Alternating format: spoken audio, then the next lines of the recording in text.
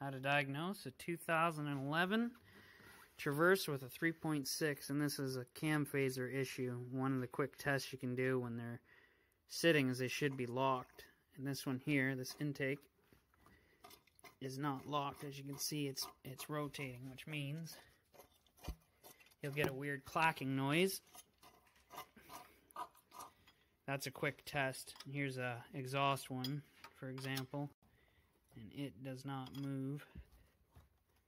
Oh, I can get this wrench on here. There we go. There's the difference. I'll do a slow-mo video so you can see what it's like. So here's a slow motion video of what happens when the phaser's busted. Uh, this is the engine cranking.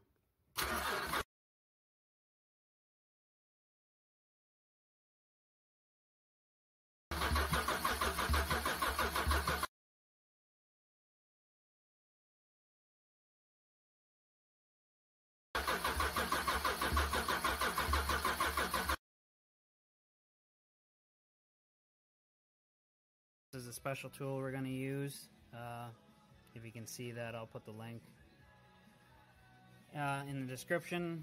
What it's going to do is going to push on the chain and push the chain against the tensioner so we get slack at the top here. We've already got this one in there. You probably can see right down in there how one leg is pushing on the length of the chain. What that gives us is some slack up here. So we can now undo this and change the phaser without pulling the whole cover. What we got in there is another special tool just to hold the camshafts in place while we do this. We're going to mark our chain and swap it over.